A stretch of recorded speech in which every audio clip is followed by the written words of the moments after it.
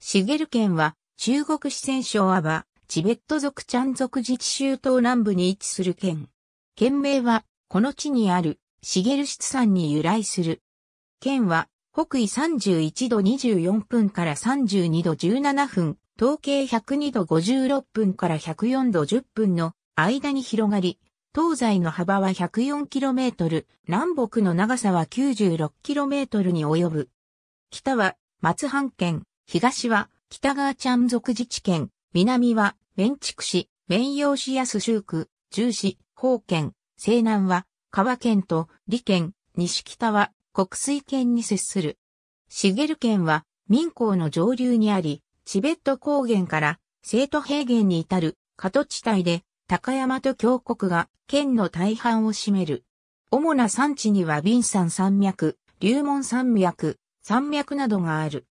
民港は北から南へ県を縦断し、その他には黒水が赤、裾川、松坪川などの民港支流や河の支流である、土門川が山地を貫いて流れている。主な景勝地、観光地には旧、金井山、銀盤山、国古祭などがある。県内には、ジャイアントパンダや、レッサーパンダ、金糸ザルなどの希少生物が住む。畳稽古、茂県はこれまでにも大きな地震にたびたび見舞われてきた。